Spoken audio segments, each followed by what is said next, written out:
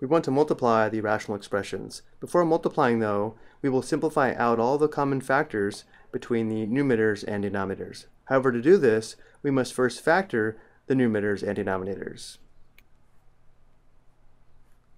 Looking at the first rational expression, we should recognize that x squared minus 16 is a difference of squares and therefore will factor into two binomial factors.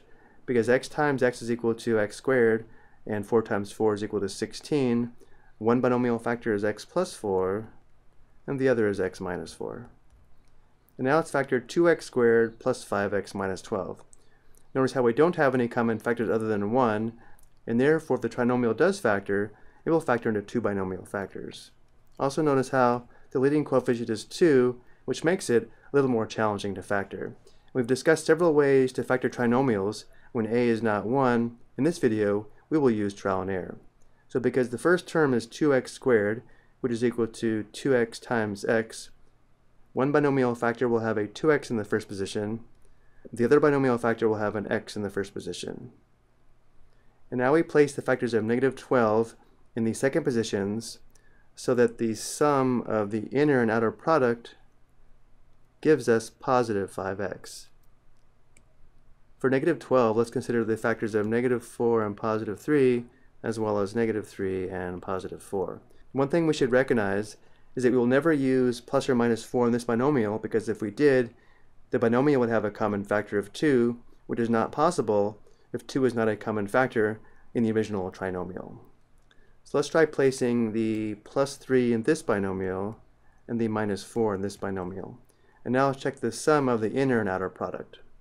The inner product is positive 3x plus the outer product is negative 8x, which is equal to negative 5x, and we want positive 5x. So because we have the wrong sign, it's a simple fix. We change the addition to subtraction and the subtraction to addition. So we change this to 2x minus 3 and change this to x plus 4. And let's just verify the sum of the products is positive 5x.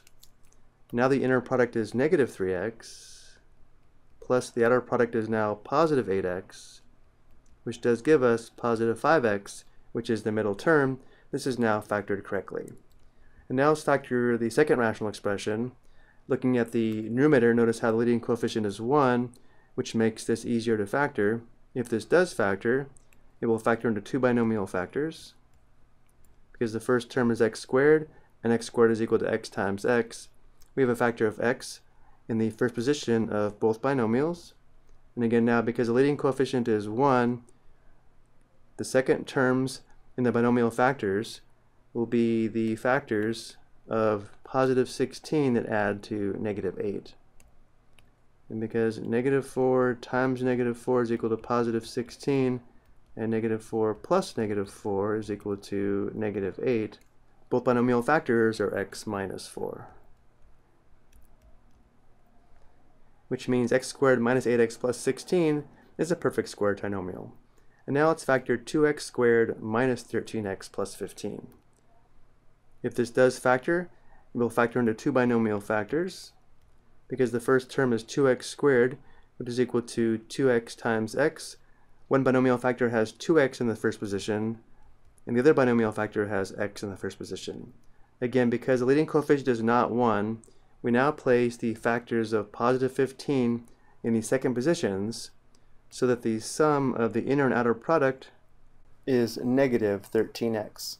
And because the sum has to be negative, we will use negative factors of positive 15 Let's use negative 3 and negative 5.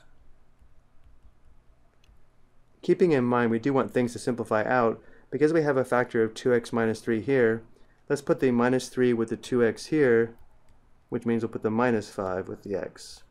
And now let's check the sum of the inner and outer product. The inner product is negative 3x plus the outer product is negative 10x which notice does give us negative 13x, which is the middle term. Now that we have everything factored, we can simplify out all the common factors between the numerators and denominators. Notice here we have a common factor of 2x minus 3. 2x minus 3 divided by 2x minus 3 simplifies to 1. We also have a common factor of x plus 4 here, x plus 4 divided by x plus 4 simplifies to 1. And we also have a common factor of x minus 4 here. x minus 4 divided by x minus 4 also simplifies to 1.